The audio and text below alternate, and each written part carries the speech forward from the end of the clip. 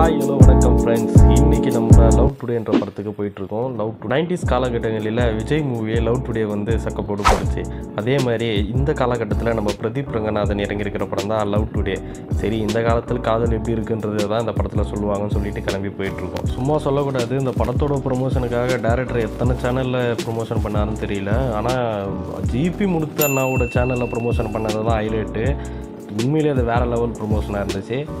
இந்த படத்தோட கான்செப்ட் இதுக்கு முன்னாடி இவர் ஷார்ட் ஃபிலிமாக எடுத்த ஆப்லாக்ன்ற ஷார்ட் ஃபிலிமோட கண்டினியூட்டி தான் ஃபியூச்சர் ஃபிலிமாக எடுத்திருக்காரு.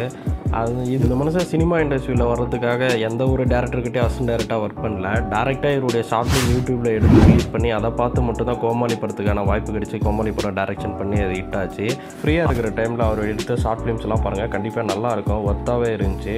கிட்டத்தட்ட தேட்டர் கிட்ட வந்துட்டோம்னு நினைக்கிறேன். ஓவராக பசி இது காலைல சாப்பிடல. சரி ரெண்டு இட்லி வாயில் எடுத்து புட்டு போட்டுக்கணும் அப்படியே வண்டி எடுத்துட்டு கிளம்ப வேண்டியதான் பாருங்க பேசிட்டே இருக்கும்போது நம்ம படத்துக்கு போகிறதுக்கான மூணு முக்கிய காரணங்க மறந்துட்டோம். மூணு முக்கிய காரணங்கள் என்னன்னா இவர் ஃபஸ்ட்டு காரணம் பிரதீப் ரங்கநாதன் அப்படின்ற டேரக்டருக்காகவும் அது இவர் நடிக்கிறான்றதுக்காகவும் ரெண்டாவது காரணம். மூணாவது காரணம் நம்ம யுவன் வேற மியூசிக்கு யுவன் கண்ணி வேற நான். ஒரு வழியாக சீட்டை கண்டுபிடிச்சி உட்காந்தாச்சு. டைட்டில் கார்டு போட்டு படம் ஸ்டார்ட் ஆகிடுச்சு படத்தை ஓப்பன் பண்ணோடனே ஒரு பையன் மாங்காய் சாப்பிட்டு வந்தான். எதுக்கு பார்த்தா எதுக்கு சாப்பிட்லான்றதை நீங்கள் படம் பார்க்கும்போது தெரியும்.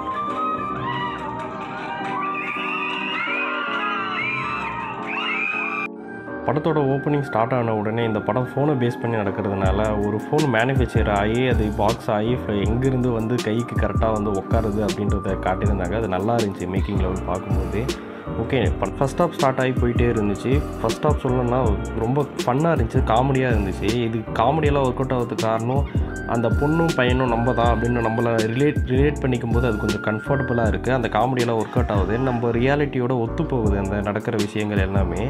ஸோ சூப்பராகவே இருந்துச்சு. First half full full and full காமெடியாகவே போச்சு. படத்தோட டேரக்டர் இந்த படத்தில் வசனம் டைரக்ஷன் பாடல்கள் இயக்கம் எல்லாமே இவரே பண்ணியிருக்காரு. ஸோ அது பர்ஃபெக்டாக வந்திருக்கு. சாங்ஸ் எல்லாமே வந்து பாடலார சீரியல் அந்த மாதிரிலாம் வச்சு எழுதாமல் ரியாலிட்டியாக என்ன இருக்குமோ லிரிக்ஸ் அதை தான் மெயின்டைன் பண்ணியிருப்பாரு.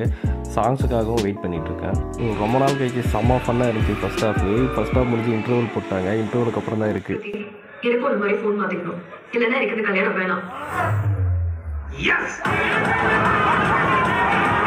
ஒரு வழியாக படம் முடிஞ்சு வெளியே வந்தாச்சு. ஆக்சுவலி என்னென்னா ஃபஸ்ட் ஹாஃப் தான் ஃபுல் ஃபன்னாக போச்சு. செகண்ட் ஹாஃபில் ஒரு ஆஃப் அன் ஹவர் கொஞ்சம் ஃபன்னாக இருந்துச்சு. அதுக்கப்புறமாட்டுக்கு கோமலை படத்தில் கிளைமேக்ஸ் எப்படி இருக்குமோ அதே மாதிரி தான் வந்துச்சு.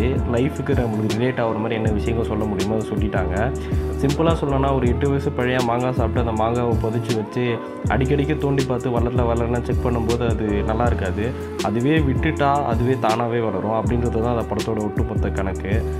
என்னென்னா நம்ம ரிலேஷன்ஷிப்பில் போயிட்டு அவங்கள ஆழமாக தோண்டி தோண்டி பார்க்கணுன்னு அவசியம் இல்லை. நம்ம நம்பிக்கை பண்ணிட்டாலே போதும் அப்படின்றத படத்தில் சொல்லியிருப்பாங்க. மேக்கிங் லெவலில் சூப்பர் படத்தில் சினிமாட்டோகிராஃபி வேறு லெவலில் பண்ணியிருக்காங்க. எடிட்லாம் சொல்லவே வேணாம். பக்கத்தில் உட்கார வச்சு டேரக்டர் எனக்கு இப்படி தான் வேணும்னு அவுட்புட் கேட்டு வாங்கியிருக்காரு. எடிட்டு எஸ்எஃப்எக்ஸ் இதில் பக்காவாக பண்ணியிருக்காங்க. இதில் டைலாக்ஸில் வந்து ஈவன் மியூசிக்லாம் போட்டு அதில் ஒரு ரெமிக்ஸ் மாதிரி சம்திங் பண்ணியிருக்காங்க. அதுவும் நல்லா இருந்துச்சு.